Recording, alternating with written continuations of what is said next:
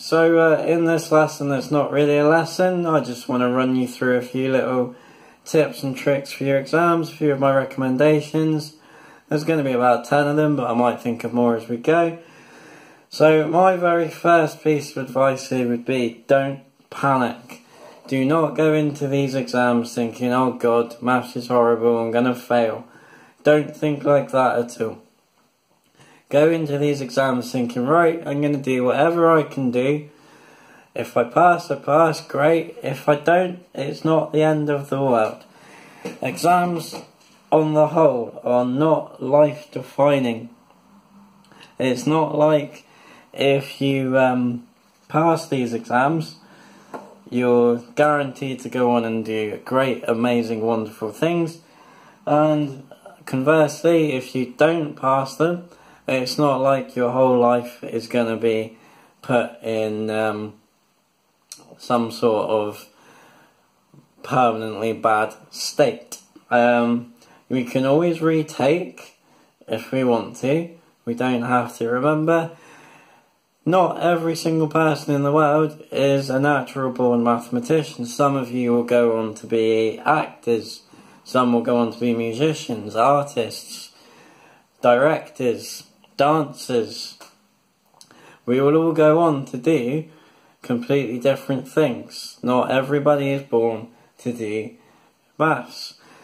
There's an awesome little quote that floats around quite a lot. It's um, very often um, supposedly quoted by Albert Einstein. Now, I'm not sure if it actually was him that quoted it, but it's along the lines of uh, everybody is a genius, but if we judged a fish's ability to climb a tree, we would uh, judge it as not being that good a climber, which uh, is quite apt to, well, any subject really. Nobody in the world can do every single subject. Everybody has their own given talent, their own strengths, and their own weaknesses. For example, I can't sing. I can't play a violin.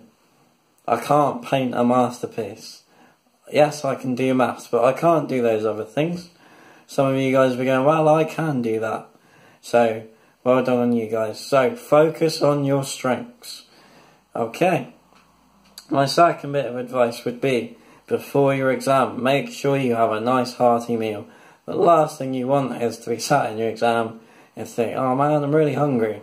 Really wish I'd eaten before this. So fill the tank, and uh, then you won't have that as a distraction. Uh, my third bit of advice take the right equipment. Don't turn up to an exam without any pens, pencils, or anything.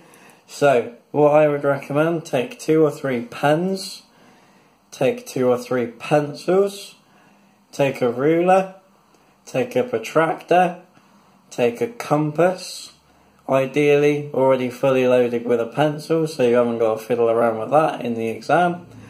Take a pencil sharpener, take a, a rubber, and if it's your calculator paper, funnily enough, take a calculator. Now don't be panicking, I always remember I used to worry my calculator would run out of batteries in the exam they will have contingency calculators if that happens, and even if you forget it. But try not to forget your calculator. Your calculator paper, it plays quite a big role. Okie dokie, the next one. They nowadays seem to quite like asking you multiple choice questions. Um, now, even if you come to a multiple choice question and you haven't got a clue on what the answer is, just put a ring around something. So, you are infinitely more likely to get a question right if you answer it than if you leave it completely blank. So, the multiple choice questions, make sure you answer every single one of them, even if you've got no idea. Do not leave them blank. Um, crossing out any workings that you've done that you think are wrong. Now, if anybody could see my final physics paper from uni, they would probably wonder how the hell did anybody actually mark this and make any sense out of any of it. I remember my head went quite blank um, in this exam. It'd been after a week week full of three hour exams, and my head just wasn't there. Um, but I made sure that I crossed out anything that I decided was definitely wrong. Uh, so hopefully, well, it must have been the fate of the case that my lecturer did manage to pick out the stuff that I wanted to be marked, and obviously I must have picked out some marking uh, works there, marks there, because I did come out of it with a degree, thank God. So cross out anything that you don't want to be marked, okay? Which also takes us on to our workings out. Now, in the big mark questions, the 4, 5, 6 markers, most of your marks come from your workings out. Um, so you want to make sure on a 4 or 5, 6 mark question you're not just writing down two lines. You want to basically write down everything that is going through your mind. And again, even if you are doing them wrong, you very often pick up marks for using the right method. So even if you don't get to the right answer, you will pick up so many marks in your workings out. Which brings us to one of my favourite movie quotes of all time by old Captain Jack Sparrow, who says it is not about the destination so much as the journey, which we can relate to exams. It's not about the answer so much as your workings out. Okay? So you pick up more marks for your workings out than you do for a correct answer. Obviously, correct answers are good because we'll get a mark there, but we don't necessarily need to panic about getting or not getting the right answer. Get your workings out down. And on that note as well, I would heavily recommend not to um, use atomically small writing. So we're going to rub out Mr. Smiley Face. So instead of writing stuff like this size, write stuff more like this size. Okay, if you're writing at an atomic level, I think from experience it just makes it so much easier to make a mistake, whereas if you write things nice and big, it's nice and clear, you can read it easily, you're not squinting, uh, and generally it's probably easier to work through something nice and big instead of something nice and small.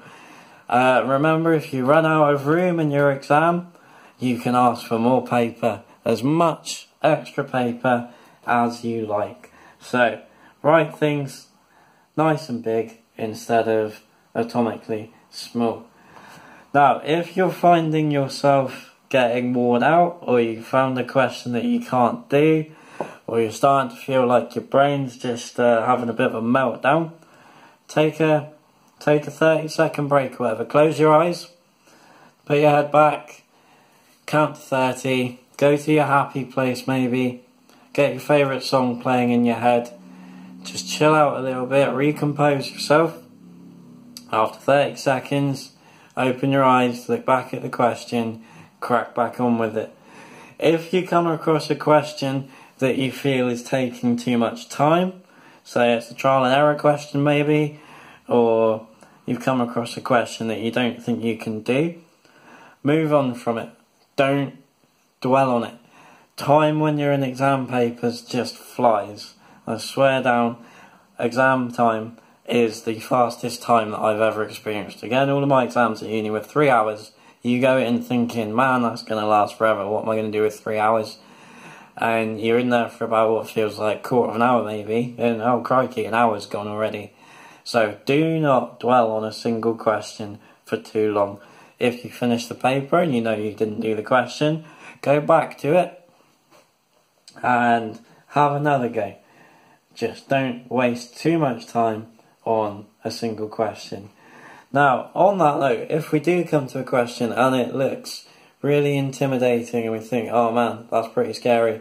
So something like algebraic fractions for the higher lot or surds or in the foundation, the questions that have got a lot of words and things. Pull out the information that you've got from the question and consider what you can actually do with that information. Um, very often, there's only really one or two things you can do at the start of a question.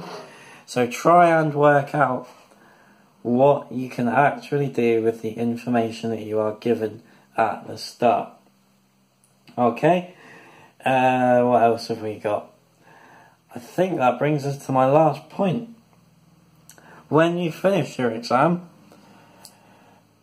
I know we're all very tempted to do it. We want to talk with our friends and compare our answers uh, to certain questions. But the truth of it is, even if you and your friend get either the same answer or you both get a different answer, there's no way of telling if that was right or wrong. Don't stress yourself out after an exam.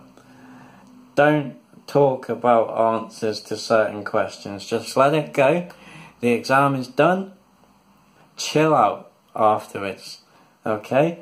Don't put yourself through the stress because if you get different answers, it's going to stress you out and think, oh man, which one of us is right, which one of us is wrong. Um, just chill out. Go, go for a surf, listen to some music, watch your favourite film. Chill out after your exam. Don't worry about it. It's in the past. Nothing can change what you put or didn't put for an answer.